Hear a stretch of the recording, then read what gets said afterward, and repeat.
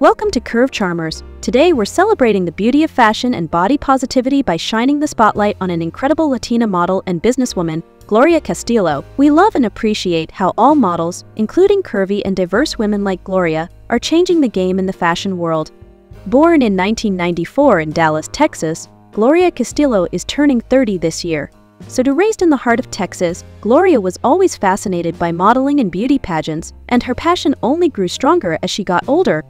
In 2014, she started her modeling journey, and since then, she's taken the fashion world by storm, representing brands like Fashion Nova, Shein and Boohoo, just to name a few. But Gloria is more than just a model. She's a fashion designer and the proud CEO of her own clothing line, Yoya Castillo Clothing. On Instagram, where she has nearly 1 million followers, she inspires fans daily with her confidence, style, and curvy figure.